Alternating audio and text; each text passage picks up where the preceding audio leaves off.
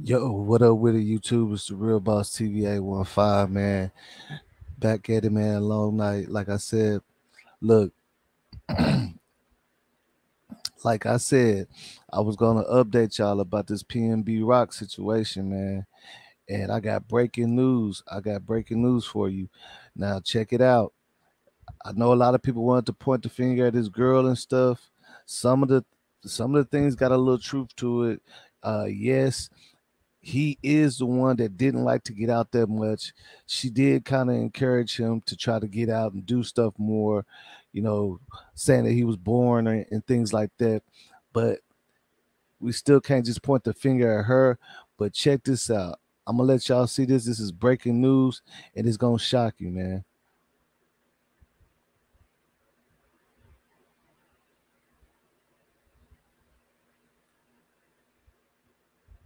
Chief Michel Moore just confirmed a few minutes ago that he was targeted because of an Instagram post. There were actually a couple, one from the rapper himself in the back parking lot when they first got here, giving somebody enough time to get here and kill him, and then another one from his girlfriend when they were sitting at the table. The restaurant Chief Michel Moore just confirmed a few minutes ago that man, he was man, targeted man. because of an Instagram post. There were actually a couple, one from the rapper himself in the back parking lot when they first got here, giving wow. somebody enough time to get here and kill him, and then another one from his girlfriend.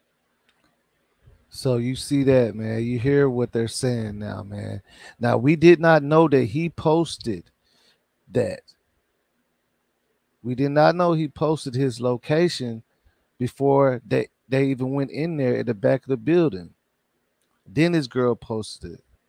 So this is breaking news right now. It's crazy, man. Like I said, I just had to come show y'all because a lot of people, you know, it was a lot of speculation and I knew more information was going to come out. I just had to keep y'all up to date, man. They saying that he posted his own location himself in the back before they even went in giving somebody enough time to know that they're there, man. That's crazy, man. Say, it's the Real Boss TV 815. Y'all already know what it is. Like, subscribe, man.